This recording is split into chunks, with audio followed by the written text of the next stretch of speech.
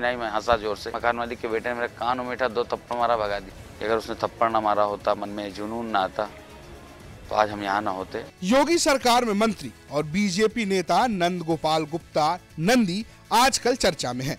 अपने ही पार्टी के खिलाफ बयानबाजी करने के बाद अब एक वीडियो जारी करके उन्होंने अपनी कहानी सुनाई है।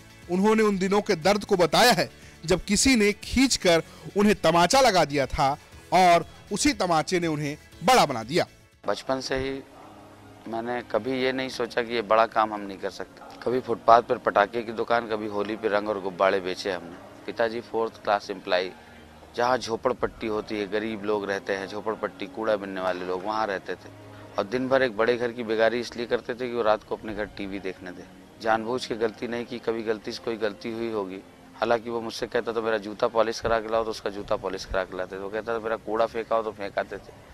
दिन भर उसके घर की बेगारी करते थे, रात को टीवी देखने। एक दिन टीवी देख रहा था, कुछ हँसी की सीन आई, मैं हंसा ज़ोर से। मकान मालिक के बेटे ने मेरे कान उमेठा, दो थप्पड़ मारा, भगा दी थोड़ी देर रोया, थोड़ी देर बाद गया तो तमाम गरीब बच्चे देख रहे थे। मैं भी ऐसे उनको, ऐसे आगे करके, ऐसे देखने लगा। जैसे इस मकान मालिक की नज़र बड़ी खिड़की बंद कर दिया। थप्पड़ मारा, जुनून आया, यहाँ दिल से लगाई बात। और आज उसका शुक्रिया अदा करता हूँ।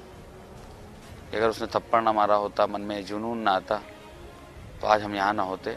ये है कि कुदरत साथ देता है, हम लोग मेहनत से काम करते हैं। आरडीएक्स रिमोट बम से हमला हुआ दो तीन लोग मारे गए, मेरे पर सबसे ज़्यादा चोट, और मैं बच गया।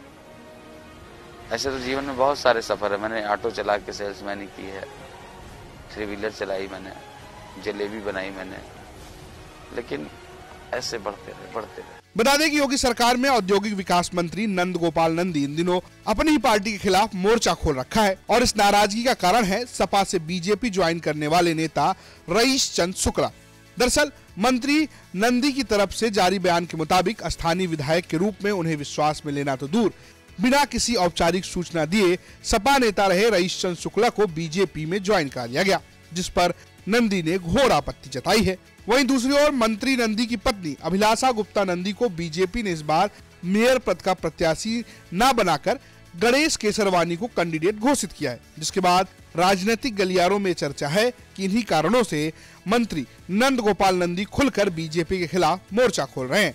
वहीं अब एक वीडियो जारी करके नंद गोपाल नंदी ने पॉलिटिक्स के साथ ही साथ इमोशनल कार्ड भी खेलने की कोशिश की है। बाकी इस खबर को लेकर आप अपनी राय हमें कमेंट बॉक्स में दे सकते हैं। ब्यूरो रिपोर्ट, यूपी तक।